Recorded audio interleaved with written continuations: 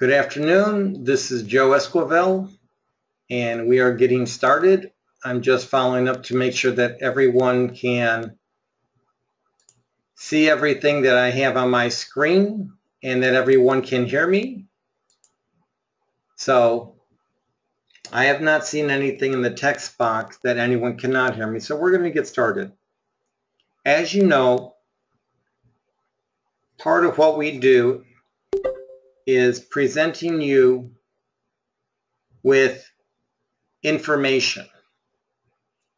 So what I'm going to go through today is showing you how to use this information. So the name of the webinar today is how to file your lawsuit. Many of you have questions as to what do I do? Joe, you sent me a lot of documents. I'm lost. Okay, well, part of what we do is preparing. However, part of what you need to do as a member and as the party that is filing the action is to do a little bit of educational research you need to find out what county you're in, what court you need to go to, and you need to also have gone to the court and asked them for a copy of the rules pursuant to civil procedure. Rules of civil procedure pursuant to a pro se litigant filing an action. Because every state is different, every county is different we do not always have the every single answer for you. One of the things that is first going to happen is that we are going to send you an email. Within this email is going to be a large number of documents. So I don't want you to get overwhelmed. All right, what you need to do is to download all of the documents into a folder name it and save it on your computer. All right, copies of these documents, all right, as there are many different types, are as follows. Example, it can be a complaint with the TRO. It could be a civil cover sheet. There could be a proposed order. There could be a summons. All right, there will be exhibits. There will be label pages and documents pertaining to the exhibits. There will also be a document which is stated how to file your lawsuit. Many people are better suited for reading instructions. Other people are better at looking at a video. To give you an idea of what some of these look like, here is an example of a complaint.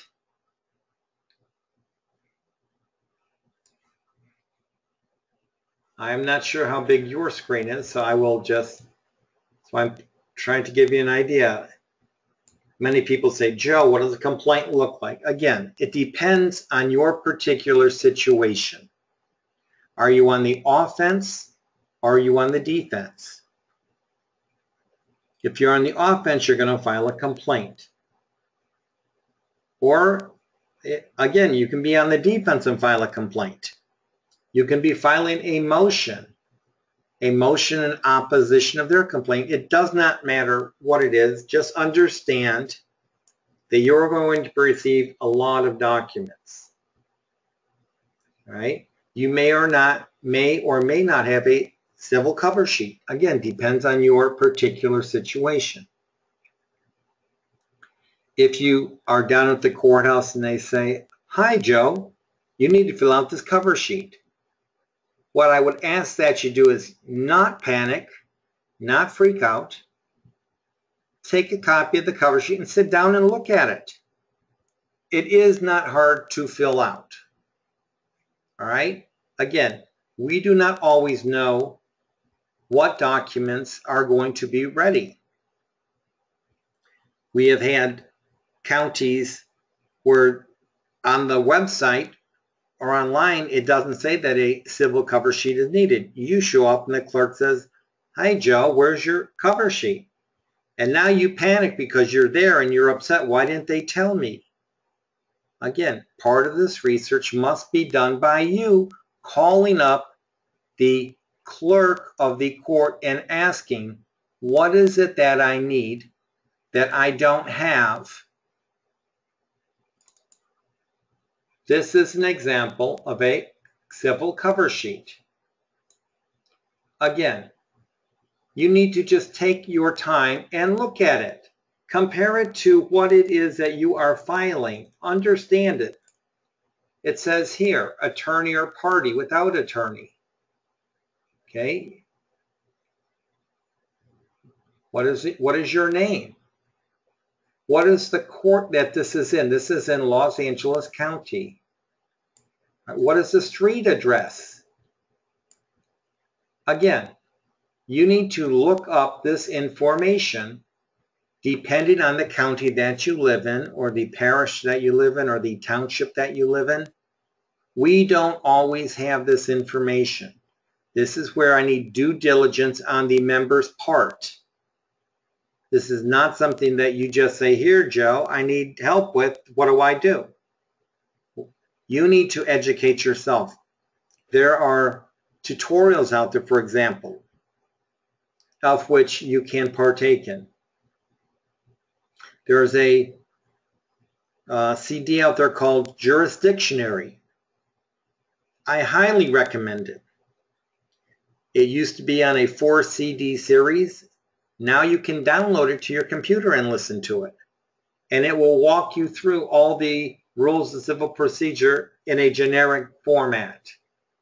Again, in here, this is civil cover sheet. All right. Is this $25,000 or less? Or does this case exceed 25,000? Oh, it exceeds 25,000. That's why there's a check mark there. Okay. Right. So again, is this a complex case designation? No, it doesn't say complex case here. No. So don't check it. Check one box below for the case type that best describes this case. Well, let's look in here. What does this say? It says here, plaintiff's complaint for wrongful foreclosure, breach of the implied covenant, breach of contract, slander of title, declaratory relief, and motion for temporary restraining order, and for injunctive relief. So let's just take a look at these cover sheets. Is this for auto? No. Personal injury? No. Other tort? Business, civil rights? No, none of this. Again, read what this says. Employment, no. Contract, breach of contract. All right, what does this say?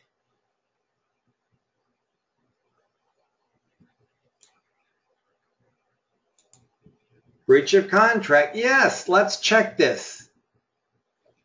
All right. So just go down, check one that best describes. This would best describe this particular document that we are fighting. Okay, let's go over here.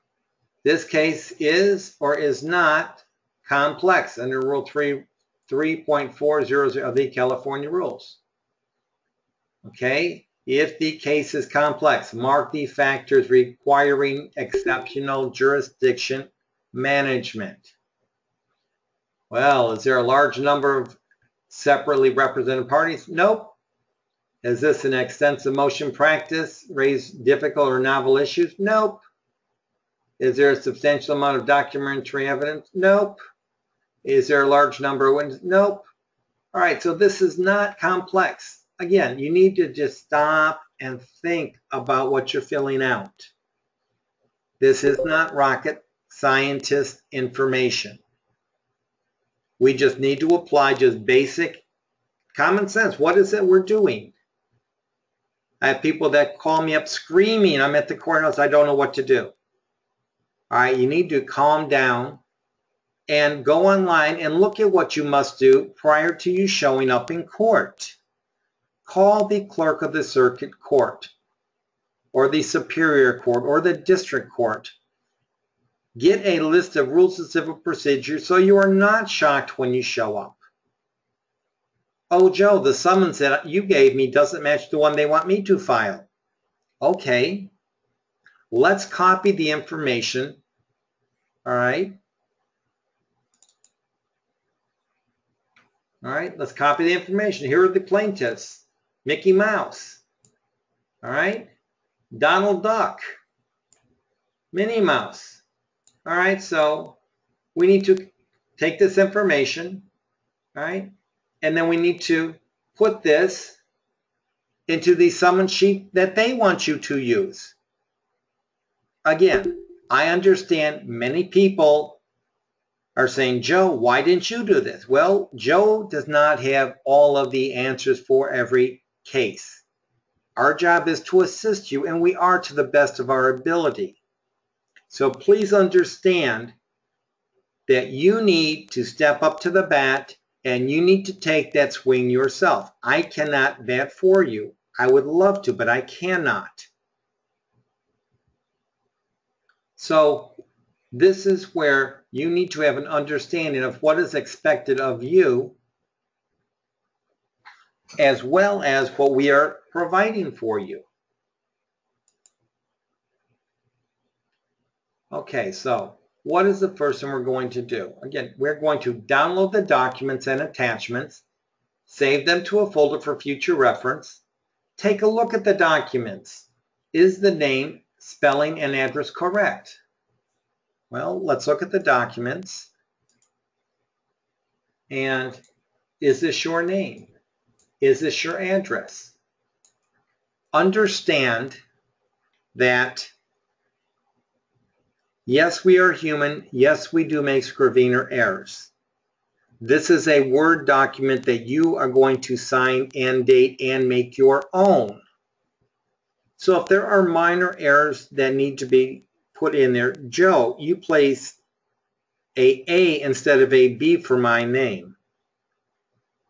Do me a favor, don't call me up and tell me this. I am not an English major. Fix the word, all right, and then email me a copy after it is filed and say, Joe, here's the changes I made. Again, we need to have everybody stepping up to the plate and understanding that they need to learn this as well. When I started this, all right, I was in your shoes.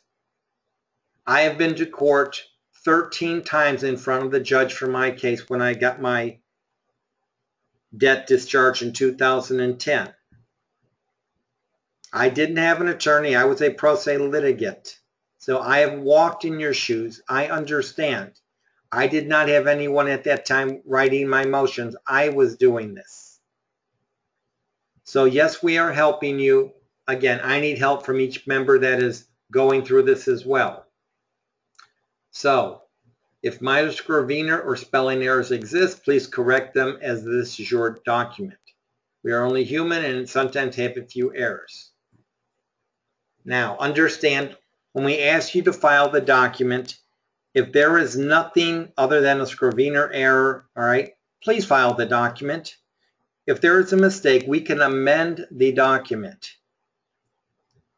We have had too, too many members wait weeks before filing because they said they didn't understand it. Joe, the cover sheet wasn't correctly filled out. I need help from every member that is going to file their document to have an understanding that they must have an educational learning experience as well with this. You need to understand when you're in front of the judge what is going on with your case. You need to read it. You need to understand it. Because unless you have an attorney acting as a microphone on your behalf, you are the one that they're going to articulate the arguments to and you must be prepared to back them up. So again, just I need help in educating yourself as well as the filings. So again, there's many different agreements, many different documents. All right. you need to then print out three copies of all documents. All right, yes, this means all documents, everything. Some of the documents can include a grant deed, warranty deed, quitclaim deed, note, deed of trust or mortgage, assignment of deed of trust or assignment of mortgage, pleading, summons, cover sheet, an order for a judge to sign, motion, pooling servicing agreements, circular supplements, trust agreements, exhibit label pages. On the exhibit label pages, I've had numerous phone calls where people freak out and say, Joe, I'm at my phone. I'm looking at these documents and they're blank pages. No, Oh, those exhibit label pages are not blank. They have one large letter in the middle of the page at the bottom of the sheet. So when you're looking at this, many people need to have an understanding that you need to understand what it is that you're looking at.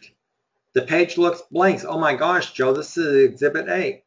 Well, there it is. It's at the very bottom of the page. So when you're going through your documents, look at them. I've gotten probably more than two dozen phone calls with members telling me that their exhibit label pages are blank. No, they're not blank. You have not scrolled down to the entire page. So it does not matter whether it's one or two. Again, all of these are all at the same place. They're all at the bottom. So just a little information. I've had people that ask me, Joe, I've got a pool and servicing agreement. Do I need to print out the whole thing? It has 300 pages. The answer to that is yes. I understand it has 300 pages. I read it. You need to print it out if that is what we are using as an exhibit. Well, why? Well, the reason is this.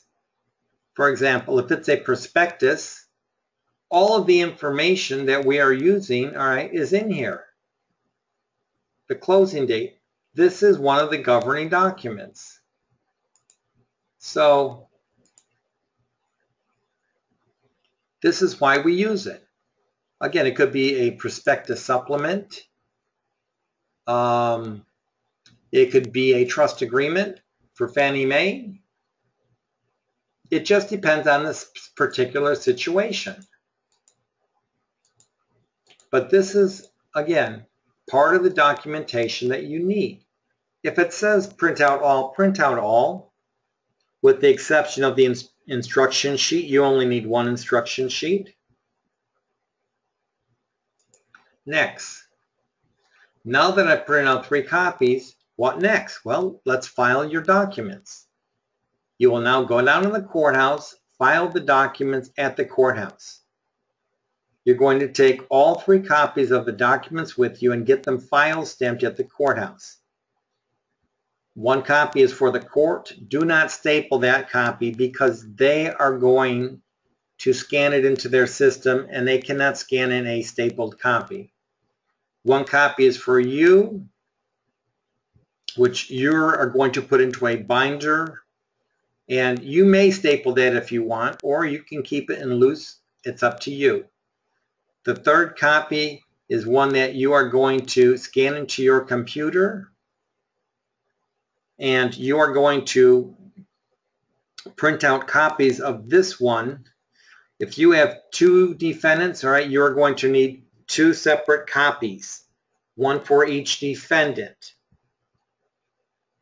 So you will scan a copy into your computer and save it because you need a filed copy with the case number and the stampings on it saved.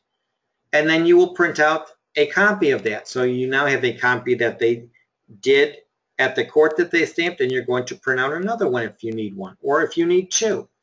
Depending on how you're going to serve the other parties, all right, would depend whether or not you need it emailed in a in a email format, meaning in a saved PDF copy, or if you're going to use a sheriff or constable and you're going to need a hard copy to hand them. Okay. When you use a process server, as we have on the instruction sheet, many times this process server can have the documents that you had gotten stamped at the courts emailed to them. So that's something to look at. Many people don't like using process servers. Many people love using process servers. For me, I like using a process server. I know it will be done correctly. A process server is an officer of the court. This is the instruction sheet that you will receive. Again, it tells all the information we're going over now. At the bottom, here's a suggestion for a national process server that I have personally used in my case. He deals with other process servers in other states. So if you are in California and you need to serve somebody in Texas, he will make sure that the correct documents get to where they need to go. He will call another process server up if he does not do it. Once they serve it, all right, then they're going to give you an affidavit of service. So one of the questions here is that now that I've filed the complaint with the court, what next? Well, again, reiterate what we just went over. After filing your action with the court, you must now serve the opposing side with a copy of the complaint, motion, or answer, or whatever you filed with the court. That means that every party that is named on the summons and in the complaint, answer, motion is served.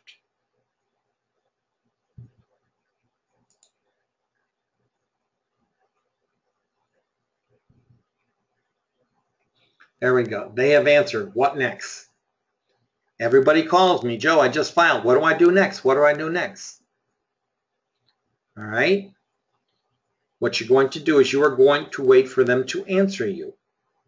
What you're going to do is to find out from the clerk of the court, because depending upon your state and county and court and type of document that you have filed will depend on how long the opposing party has before they need to answer. you need to then write on your calendar if you serve them today, September 2nd, and they have 20 days in which to answer, all right, 20 days out from today, which would be September 22nd, all right, I would have on my calendar, all right, a question asking, have I been served? If I have not, if they have not answered, I need to get ready and let U.S. Equity Initiative know that they are in default and they have not answered.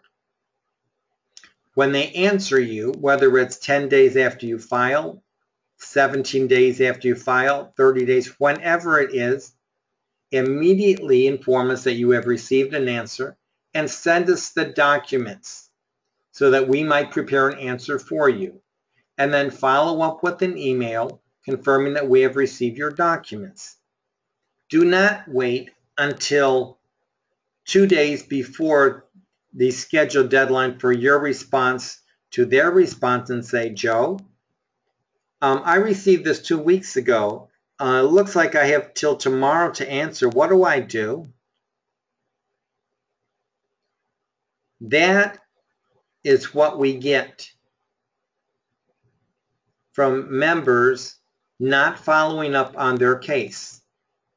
I cannot follow every case and have an understanding as to what date you filed exactly and what is the response date that they need to act on. I need you to step up to the plate and take some initiative and understand that it is your responsibility with this being your case that you need to have an understanding you need to know what date are they to answer by.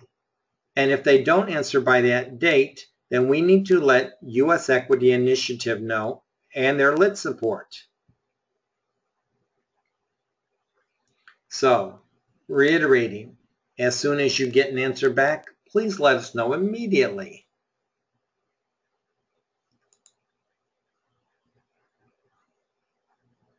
Okay.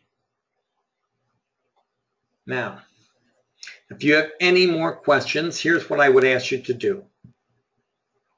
Regarding your filing or any other one, put them in an email, create a ticket, and I will attempt to get back to you in 24 to 48 hours.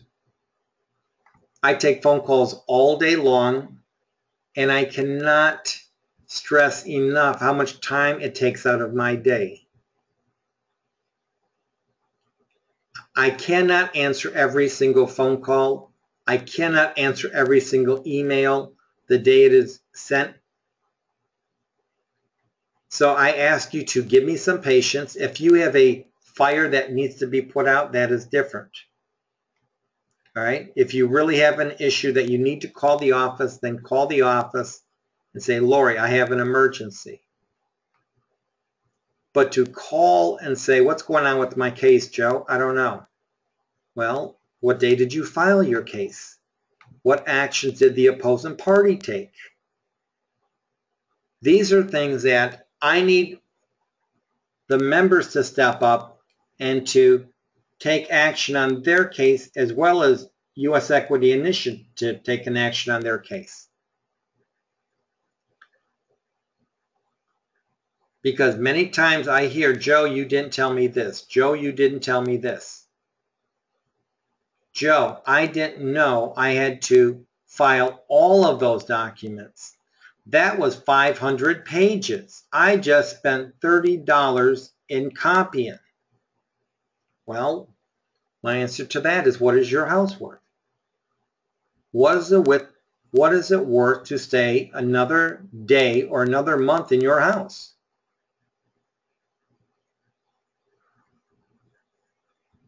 This is not the time to be asking Joe, is there some way we can cut down on the number of documents that we are filing? The answer is no. The documents are that are required are the documents that are required, and I ask everyone to just follow the instructions. So, with that, I believe we went through a large number of items, and I'm going to stop recording this and I will take any questions and see if I can answer them. You can type the questions into the chat box. And if you need to be unmuted, if you put your name in the chat box, I will see if I can unmute you.